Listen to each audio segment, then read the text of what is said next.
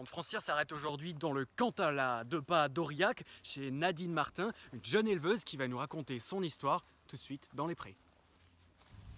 Bonjour Nadine. Bonjour Loïc. Merci de nous accueillir chez vous. Alors avec qui êtes-vous ce poulain? Qui Alors je vous présente Ballon B, dite bébé pour les intimes.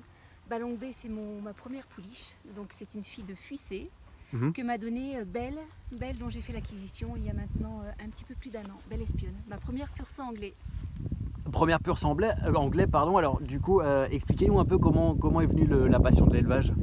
Il y a, alors il y a 17 ans, il y a 17 ans, je suis tombée amoureuse du Cantal. Euh, J'y ai acheté ben, les terres sur lesquelles vous êtes, avec euh, une jument qui était une anglo qui s'appelait Diane, tout le nom de mon élevage, Diane de mon plaisir. Mhm.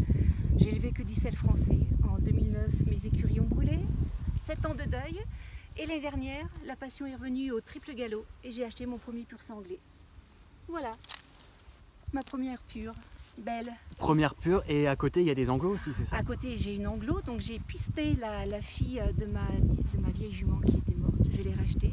Et elle est en compagnie de Wally Mix, une autre pur sang dont j'ai fait l'acquisition il y a un an.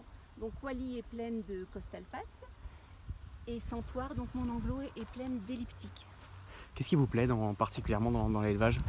Qu'est-ce qui me plaît Euh, c'est, Ce qui me plaît dans l'élevage, c'est de faire naître, de pouponner des, des bébés. C'est la, c'est la fusion que j'ai avec mes chevaux. C'est euh, tous les jours, c'est un, émerveillement. Ils sont, ils sont rassurants, ils sont éblouissants, ils, sont, ils font partie intégrante de ma vie. C'est, c'est, ma vie sans mes chevaux ne serait pas la même. Merci Nadine, Je vous en prie Loïc, à bientôt à bientôt.